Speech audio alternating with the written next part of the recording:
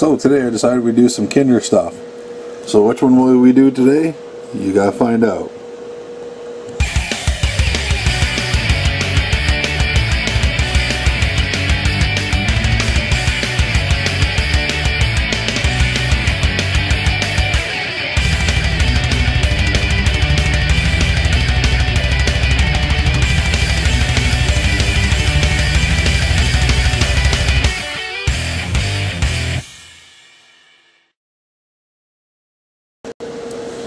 So my sister was down to Mexico and she brought me back some Kinder Sorpresa.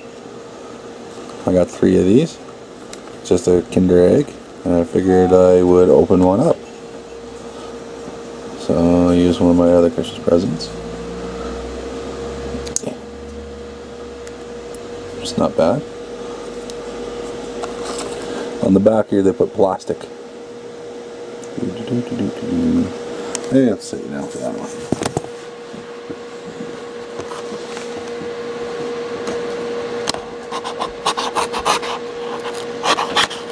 She's sharp.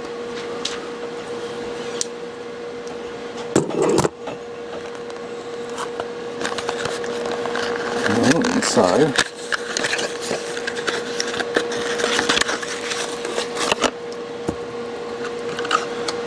Kinder Sorpresa. And uh, I believe that was all that was in the box. Yep.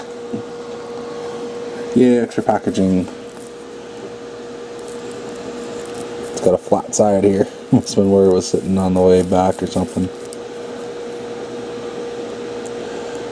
But yeah, that's uh, all the different packaging, and that's all in Spanish. Feels kind of weird around here, like, oh, it's uh, shrink wrapped. That's what it is. It's not the normal tin like we have. Alright, let's see if I can get this open.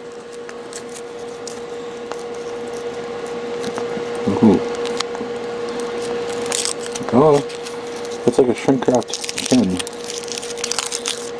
Sure, that's good for the keyboard, but oh well.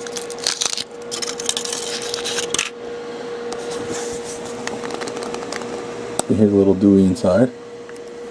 Aha! Looks very familiar. Don't worry, laptop's not warm yet. And what did we get today? Ooh, we got a car. We got a car. What did we get for car? Ooh. Well, there's half the car. There's the other half. Oh, once again.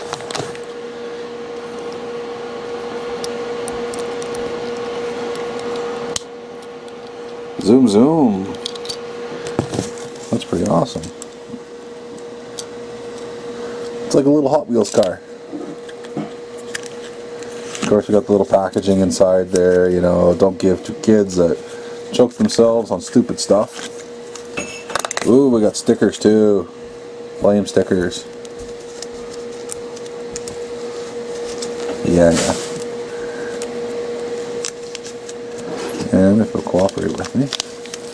There we go. That's what it should look like when it's done. I don't know if I can put the stickers on or not, but that's that's what's in there, and that's the complete set. So anyhow, that is the first Kinder Egg. Dun dun dun. Ta-da.